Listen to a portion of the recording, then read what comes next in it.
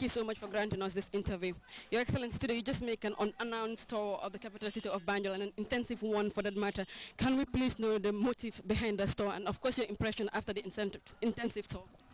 أعوذ بالله من الشيطان الرجيم بسم الله الرحمن الرحيم الحمد لله رب العالمين الحمد لله رب العالمين From 94 to date, we have rebuilt Banjul roads not, not less than five times. And each time, when the heavy rains come, the road is just destroyed because the water table in Banjul is very high. So we realized that this um, conventional road construction is not helping because government is spending a lot of money.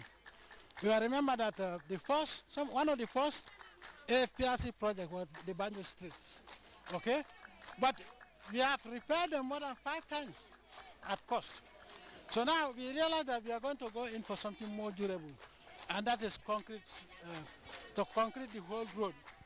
Uh, uh, the evidence of it is the fact that in State House, all the roads have been concreted and they are lasting longer. In fact, for State House, we used to re uh, rebuild the road every year after the rains.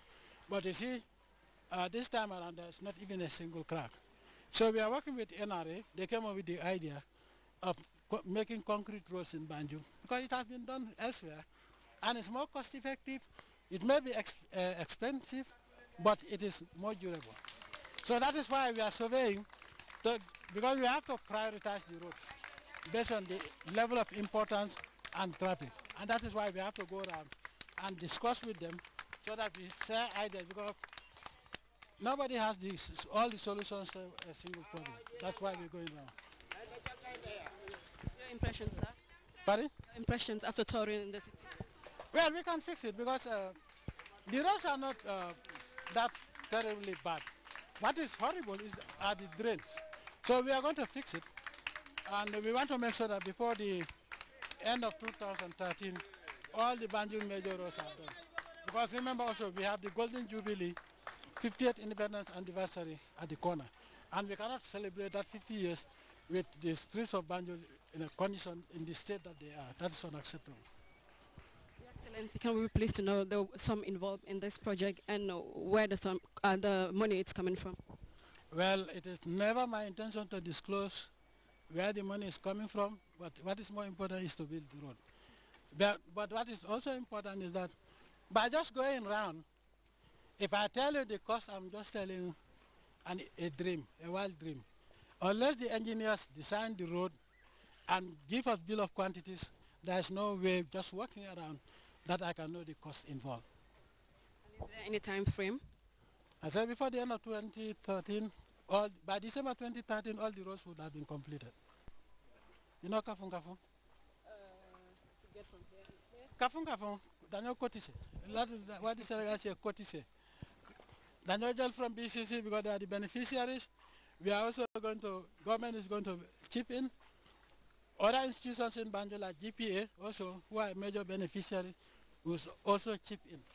So with that we will be able to, we are comfortable that we will be able to do the, the roads.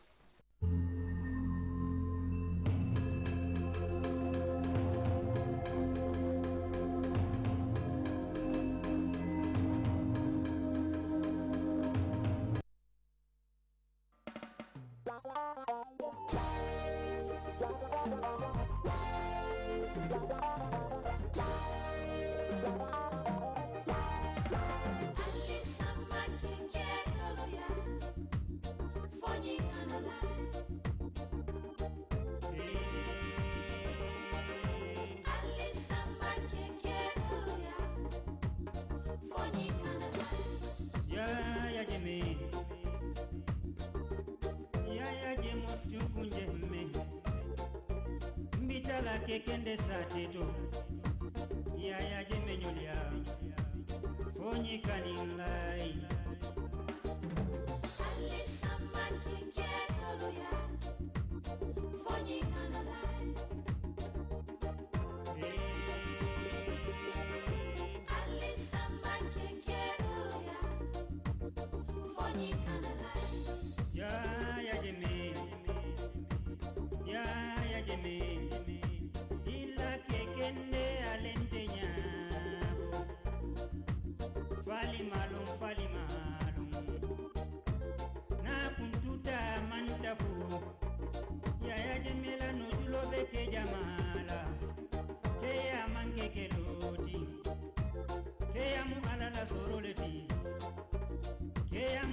jabole ti ala ye ke jaralla mansa.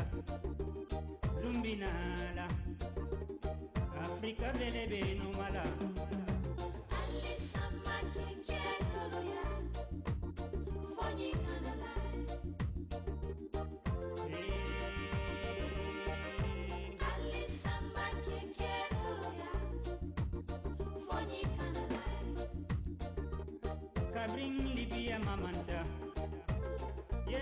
afrika di jamale kanandiji ye gambia alfa jamale hijindi tuwajabi alfaru ni sunkaro sita.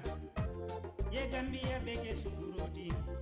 Imaji ala yela duniya sukuru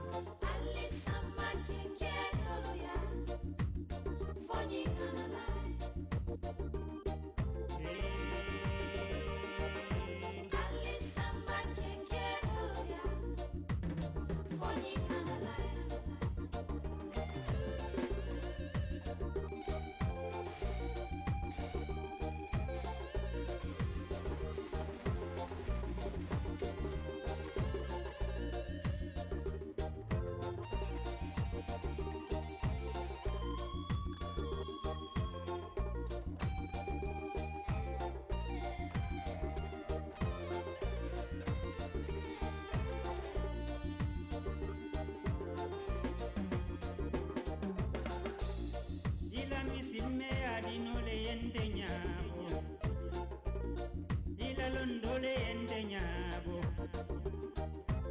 ila darjole yende ñaabo bebi mariam le famamu. Muhammed le famamu. Junkunje medima asommi bojanne dimmamu senebukema senen jemmele dow mamu aral ba jemme dow ma seni jemme dow mr ambassador ansu jemme ko dow ma babo jane bari mamu ila kekende alende ñaa